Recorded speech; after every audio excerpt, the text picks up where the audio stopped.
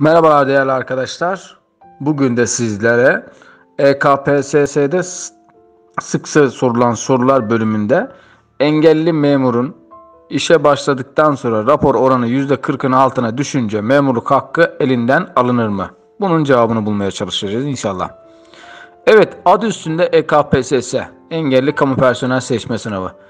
Bu sınava başvuru şartları kanun ve tüzükte açıkça belirtilmiş arkadaşlar. Bir engelli adayımız bu şartları yerine getirip sınava girdikten sonra aldığı puan ile ataması yapılır ve göreve başlayınca devletin engelli personel kadrosunda istihdam edilmiş sayılıyor.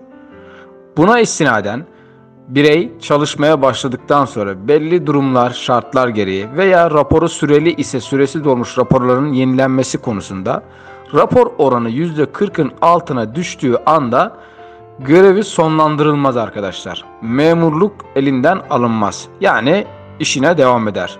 Ancak engelli personel statüsünden çıkar. Yani bir birey %40'ın altında bir rapor alırsa engelli personel sayılmaz. Görevine devam eder. Sadece burada fark şu, engelli personele verilen haklardan bu kişi faydalanamaz. Çünkü engelli personel statüsünden çıkmış oluyor arkadaşlar. Özetleyecek olursak yani raporumuzun oranı düştüğü anda memuriyetimiz sonlandırılmıyor.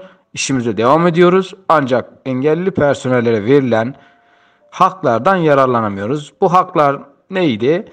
Tayin hakkı, mesailerdeki esneklik, görev yerlerindeki durum vesaire vesaire. Bu haklardan yararlanamıyorsunuz. Ama içiniz rahat olsun ki göreviniz sizi sonlandırılmıyor. Yani işinize devam ediyorsunuz.